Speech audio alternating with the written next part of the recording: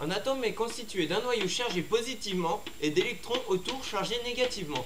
Les électrons sont situés sur différentes couches électroniques. Lorsqu'on chauffe les atomes, les électrons sont excités et passent des couches inférieures aux couches supérieures. En se désexcitant, les électrons libèrent de l'énergie sous forme lumineuse.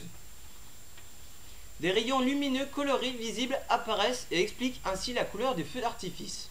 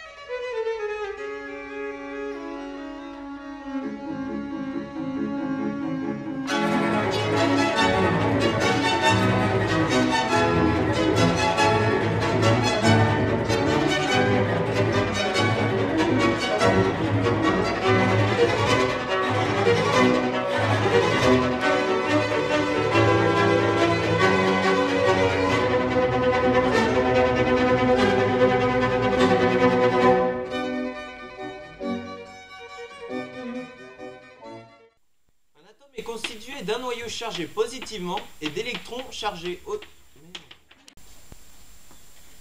Un, atome est constitué d'un noyau chargé positivement et d'électrons autour de lui chargés négativement. Les électrons situés, sont situés sur différentes couches électroniques. Allez, je fais Un atome est constitué d'un noyau chargé positivement et d'électrons autour de lui chargés négativement.